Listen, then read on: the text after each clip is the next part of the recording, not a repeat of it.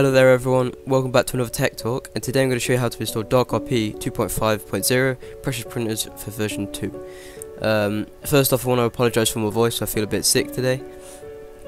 Um, and secondly, this is just a great add-on to use. First of all you want to click on the subscribe button, I'm already subscribed to it, so that's it. Uh, if you go over to Garry's Mod you'll see a little box that says it's installing. Once that's installed, you can go over to Computer, local disk, program files 86, Steam,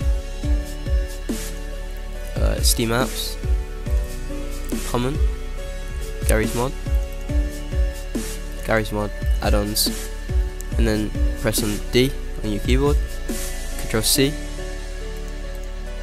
and then paste it onto your desktop like so. Okay, so now once that's done, uh, sorry for my voice then. Uh, once that's done, um, you can go and download this program in the description, which is called GMAD Conv GUI, uh, and mine is located in my Steelbox server, uh, and then GMAD Conv GUI.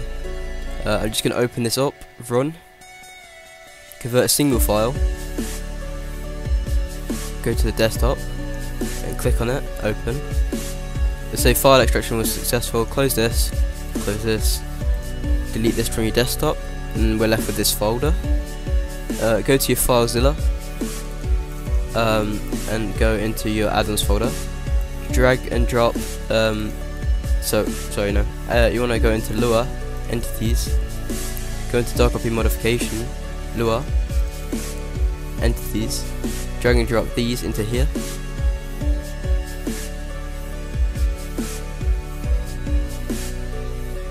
Close this. So once this is done, uh, we can go into DarkRP config, settings, go to the bottom of the page. I've just created a little header here which is called printer config.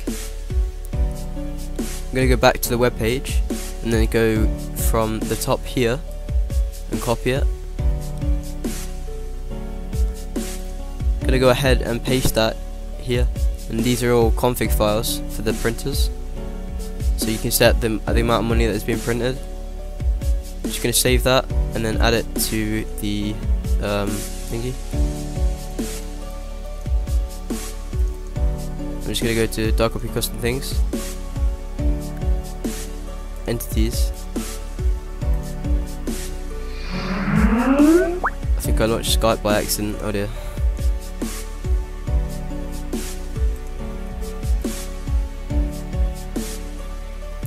remove that really quickly. Uh, so yeah, you go back to the web page, copy from here where it says add entity to the bottom, Control C, Control V, save it, upload that file, uh, and then if we go into the Garry's Mod server, we can see if we go into entities we have all of these printers to choose from. So if we buy the lowest one you can see we're producing $10 if we buy the uh, Opal one we're producing $15 and so on and so on. But if we wanted to change that we could go into the FileZilla go to DarkRP config settings reopen local file and if we just go here to where it says 15 and set it to a thousand and save it we'll get a Lua refresh and then this will print a thousand like so. So this is very customizable. You can choose what is being set and like how many printers you have. You can remove some printers you can add some printers. Uh, it's very simple to do just really hope you've enjoyed this tutorial. Hope it's helped. Uh, that's it for the, today's Tech Talk, and I'll see you in the next one. Goodbye.